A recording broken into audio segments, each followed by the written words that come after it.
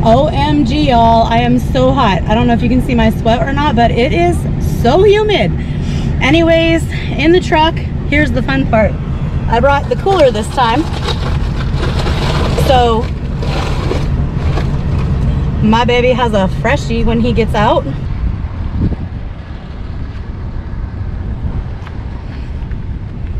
Welcome back to another video of Always Doing Something and today I'm here at UCSD Hillcrest.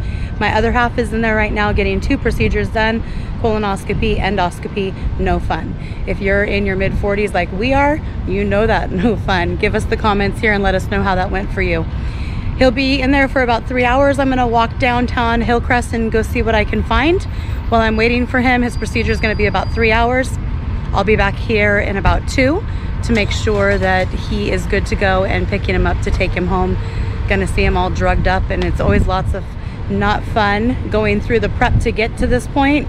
But thankfully after the procedure, he always feels much, much better getting through it.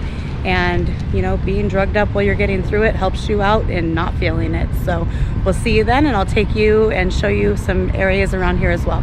See ya checking out, walking through one of the little neighborhoods around the hospital. I left there, going this direction. West Washington's that way.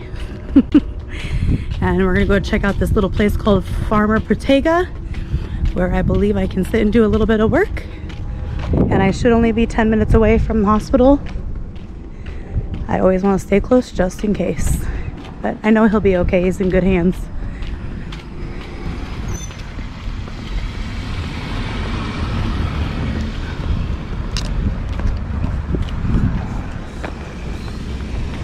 Stop sign. Some people don't know how to stop at stop signs apparently. or for pedestrians. Always stop for your pedestrians, people. Anyone looking for a missing dog? If you've seen him, do not approach, but call that number.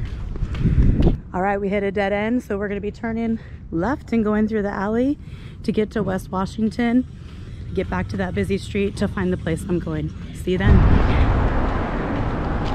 All right, now I'm out here in downtown Hillcrest on West Washington, and I believe that brown coffee sign is where we're going up ahead. When I went down the side road and ended up in the alley, I went too far west. So now I'm going back to where I should be. But you know, sometimes those side streets are better than these streets that I'm on right now. So we'll see. And I will take you there when I find it.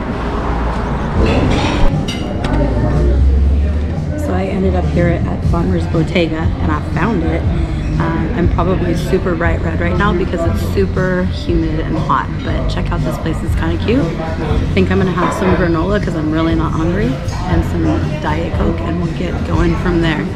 But check it out, it's cute in here.